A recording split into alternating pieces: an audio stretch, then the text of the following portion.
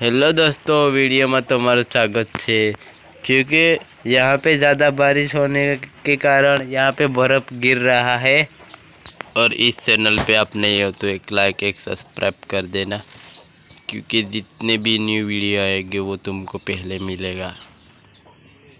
ये देख सकते हैं कि कितना बर्फ़ गिरा है।